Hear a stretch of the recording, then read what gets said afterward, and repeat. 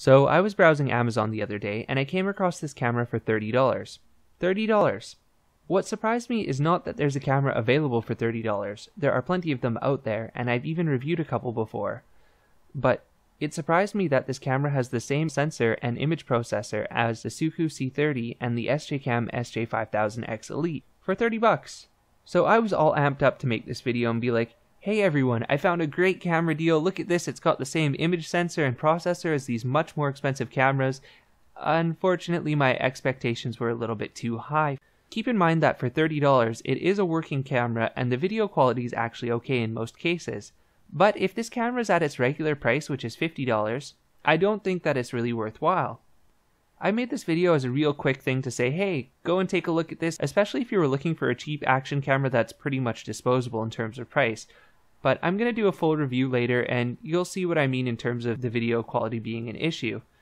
Let's also talk about a couple of the other downsides quick before you go and jump into this camera head first.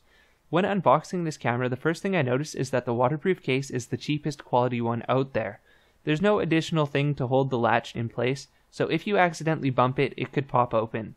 Also, the camera rattles a little bit because it doesn't sit very well inside of the case, which is picked up by the audio. Speaking of audio, the camera doesn't exactly pick up, well, much of anything to say the least. First off, let's do a quick audio test. Right now, this is what I sound like through the LD 4K's camera.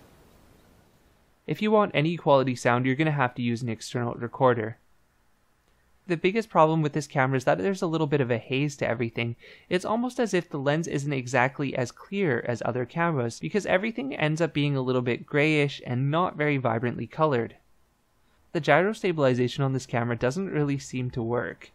Out of the box, I tried enabling it, but it kept shutting itself off, so I wrote Lightdow and asked, hey, what's up with this? And they sent me a firmware update. Well, that firmware update actually broke the 60 frames per second video, and it didn't exactly fix the gyro. Sometimes the gyro works now, but sometimes inexplicably it'll turn itself off, so you gotta keep an eye on that.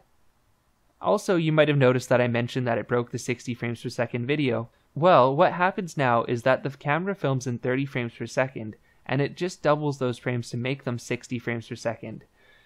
Alright, well I've criticized this camera a lot, and this was supposed to just be a quick first look video. What do I like about the camera? I mean, you're not going to see it when I was recording, but there was a big pause there because I had to stop and think for a second. What do I actually like about this camera? Well, the 1080p footage is alright. The 2K footage is alright you know, video is okay. For 30 bucks, I'm not complaining.